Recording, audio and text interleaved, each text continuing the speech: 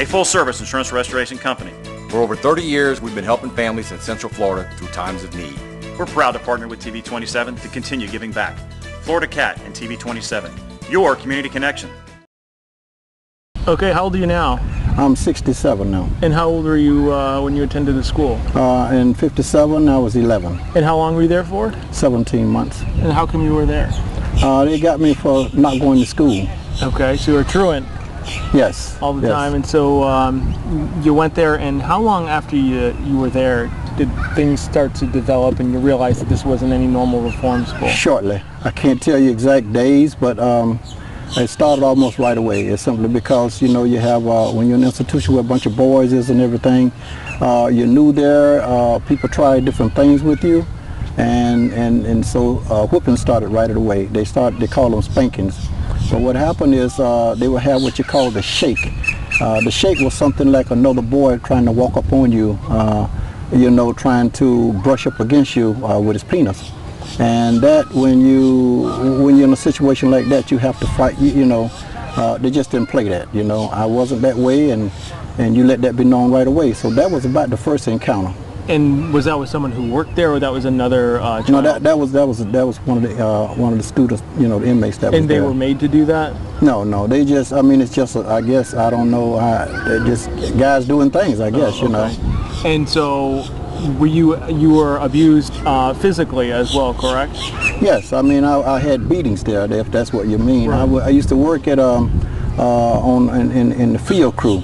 And the field crew was consist of nothing but labor work. I mean, we grew all the vegetables, killed all the cows, et cetera, et cetera, and we furnished both sides. When I was there, it was segregated, and uh, the guys we called the black side and, and the white side.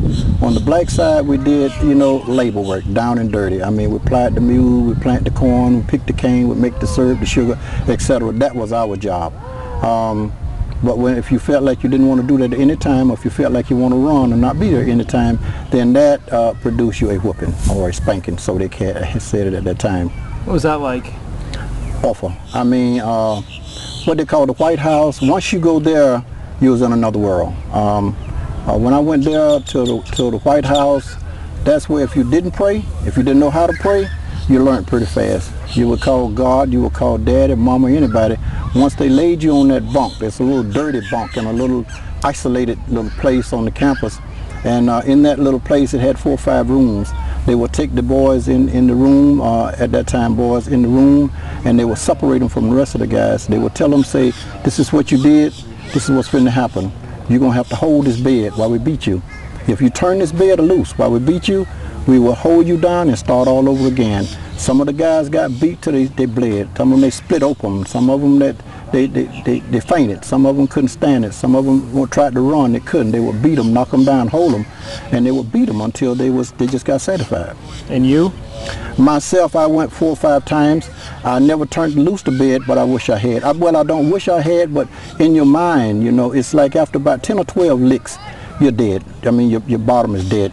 And at that time, you kind of wish, or what I did was kind of like in a, you know, experiencing some, you know, like out of body experience. I mean, I just left the body and leave the pain. And, you know, uh, just anything, you know, you call mama, daddy, no one there was to help you, you know. Nothing but hold that bed and bear the pain. And uh, you were there for how long again? 17 months. Yeah. And you were sentenced to a period of time. Is that how it worked? Or? I, you know what? I was 11. I just turned 11 when I went there. Uh, they had me in the in the uh, detention home. They call it the juvenile uh, detention home. Uh, eight or ten times. I don't know how many. But I don't remember a judge. I don't remember anybody sitting and say you got to be there at a certain time or whatever. What they would tell my mother, the truant officer would tell my mother, like, you know, we're going to take these boys and uh, I'm going to send them, we're going to put them in a place where, uh, you know, they can get an education, you know, so they can grow up to be fine men. They would be, you know, uh, a help to society, you know, they'll be fine men. And my mother, she was uh, uh, illiterate. She, you know, she just believed what they tell her. And she said, okay. So uh, next thing I know, we was riding, my brother and I, was it was three of us, you know. They sent all three of us at the same time in 1957. My oldest brother was there in 1952. So uh, really, we don't really know what you're actually going for. So how'd you finally be able to leave? How did that happen? I left after about 17 months of beating and whatever. Have you have to make a certain rank.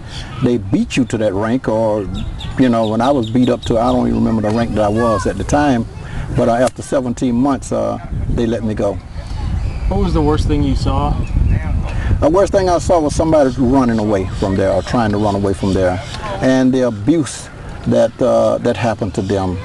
Uh, some of the guys would return after they, they was caught, uh, uh and, and, and, we always thought somebody would say they got away. Only to find out 54 years later, they didn't get away. Uh, they have so many graves there now that they're exhuming. Um, so I'm finding out one fellow, I can, can't remember his name now, but they did call me and tell me his name. He disappeared in 1958. And uh, when he disappeared in 1958, all the guys say he got away. 54 years later, they have a, a sign-in sheet where he went into the Florida School for Boys, but never returned out. So they called me and told me it's very possible that he was killed. Um, we do hear of certain you know, boys being killed. Um, some of them in the middle of the night, some of them run down by the dog boys, some of them through the Ku Klux Klans. Whatever the reason was, they never made it back. But they would always tell us that, you know, either their parent come and got them in the middle of the night or, you know, they had to send them back or whatever reason. We found out later that wasn't the cause at all. Do you still um, think about this often? I think about it, yes. I, I think about it it's simply because I, that was about the worst treatment that I had, in, you know, in my life. Um, it started about when I was about eight years old. They put me in a real jail uh, in a place called Crescent City, Florida and they uh, they took us into the principal office in Crescent City, Florida, and the sheriff their name was, or police was name was Whitecap. He literally beat the hell out of us in the office. That was the beginning of it, you know. And um, from there, straight on to a jail, from there to a detention home, from there to uh, the Florida School for Boys, from there, straight out of there to prison. They sent me to prison when I was 14 years old. Same thing. They said I was breaking into stuff or whatever. I never stole anything. I never broke anything, but that was the that was the faith of that. So yes, I, I do think about it. I mean, I look at the guys today. I look at the young guys today. You know, and what they're going through, not even realizing knowing what they're facing. But once you're in the system, you're done. Once you're in usually, you're done. But for myself, I call myself fortunate. Uh, after all of that, after all I went to prison and everything, and all, I still went to the military, and I, I wound up being. I, I would like to think for myself as a pretty successful. I mean, I own two or three businesses and so forth later, but during that time, I just had to prove to myself I don't need you, and I don't need your system. You know. Did you think you were going to get out of there alive? At times, at times it was doubtful. I mean, we worked in, in Marianna, we worked as little boys. They had us uh, making syrup, cutting cane. I cut the top of my toe off in a cane field, trying to cut cane. At, at, you know, 11 years old, what did I know? But we had to do that. Um, and when we did that, they took me out of there and they put me in the processing plant. Processing plant is where we processed all of the meats. Uh, we killed the chicken, cows, whatever it was, to furnish for both sides, you know, the white and black side, uh, you know, for food. So uh, yeah, it was times when I just didn't know what was going to happen. There was times I wish I was dead. It was times I wish Mama would come, Daddy would come. But every week, you had to go to school at least one day. Well, it was even day, odd day. You go to school a day, you work a day. I never made it past the third grade. But it's one thing they taught you. That's that, to trick your mom. And that was every week they made you write a letter home and say, Dear Mom, I am fine. How are you? You know, we had a wonderful time this weekend. We went to the movie. Behind those kind of letters, they never had an idea that anything was going on. But if you didn't say that, you didn't write a letter, you got beat for that. You got beat for walking on the grass. You got beat for talking in the line. You got beat for wetting the bed. You got beat. I mean, you know, it was just uh, this type of thing. We never, I never knew that it was white side and black side until later. It was, it was segregated at the time. And the only trades that we got was uh, how to plant corn or cut cane or whatever.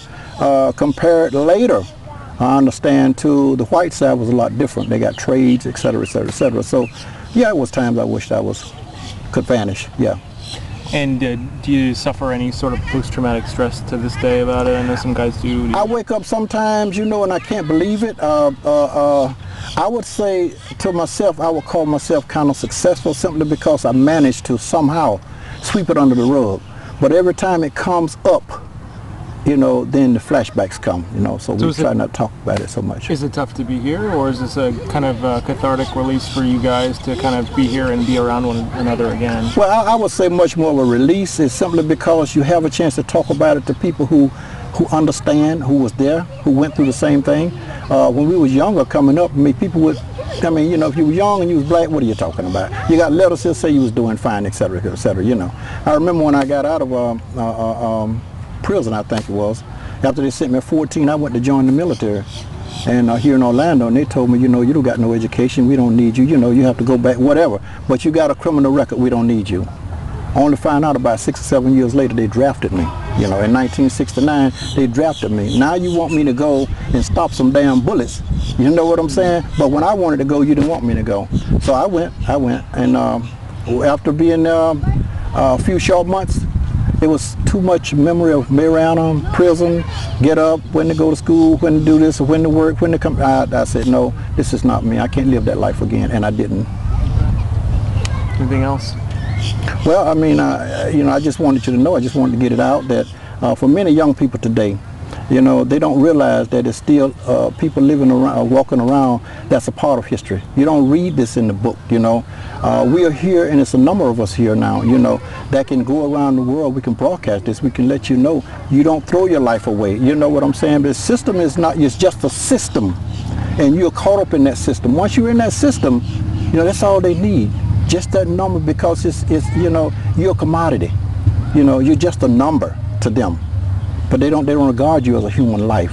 We would like for young people to know and institutions to know that we got eyes on you. We were there. We know what you do behind closed doors. And we want the world to know that you or any, any anybody, should, any organization should thoroughly check those people because they abuse children, they abuse the boys, the girls, and we are here to make a stand. We are here to say, open them damn doors and let us see what's going on. You know what I'm saying? Stop making the children, uh, uh, you know, confess to things that's not true. And that's what the system is all about. That's, and we just want the world to know that we're here. And we will make a stand. That's it.